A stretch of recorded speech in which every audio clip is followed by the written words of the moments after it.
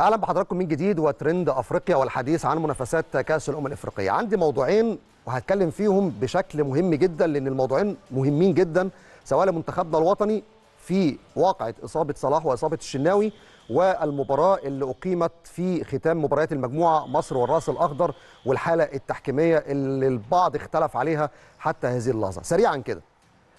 أنا مش عاقد مقارنات ولكن الوضوح والصراحة في الكشف عن إصابة محمد الشناوي كان القرار سهل على الجميع وقرار النادي الأهلي كان سهل على المنتخب وإعلان المنتخب كان سهل قبل أي تفاصيل تانية. موقف صلاح المشكلة إن ما كانش فيه صراحة من البداية وخوف من الإعلان عن تفاصيل الإصابة وده جزء مسؤول عنه محمد صلاح إن الج- الجانب ده المفروض مسؤول عنه البعثة ومسؤول عنه الجهاز الطبي ليس مسؤول عنه اللاعب. وبالتالي هنا الفارق. في إصابة الشناوي كان الموضوع واضح وتم الإعلان بشكل رسمي والشناوي هيخضع لعملية جراحية. صلاح لو من دي 1 اتقال إن إصابة صلاح هتحتاج 28 يوم وصعب استمراره في البطولة كانت الأمور انتهت. ولكن فكرة إن اللاعب أصلا كمان يعني طلب إن ما حدش يكشف عن تفاصيل الإصابة وهيشوف مع ليفربول إيه اللي هيحصل ده اللي عمل بلبلة.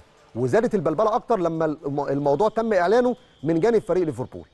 دي جزئية مهمة جدا عشان الناس تعرف الفرق. ليه هنا حصلت أزمة وهنا ما حصلتش أزمة؟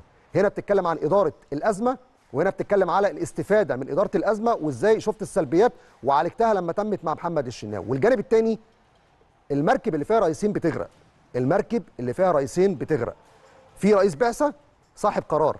في كابتن المنتخب يسمع تعليمات رئيس البعثة والمشرف على المنتخب. ما تبقاش العملية متشقلبة ومقلوبة. ده جانب. الجانب الثاني هدف مصطفى محمد في مرمى الرأس الأخضر. كلنا بلا استثناء قلنا إن الحكم التشادي إدى هدف وتوم ابو نجيل على الفار رجع وقال لا الكورة دي مش هدف ده فيه لمسة يد.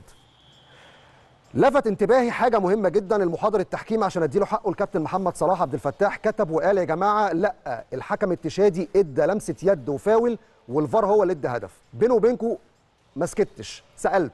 ورحت سألت في أبيجان وسألت عدد من المصادر في لجنة الحكام وكانت المفاجأة.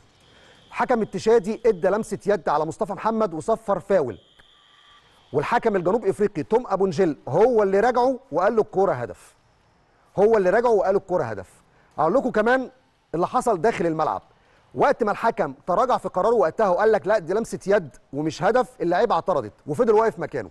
لما راح راجع اللعبة وجه حسب هدف وتحرك لمنتصف الملعب وادى هدف.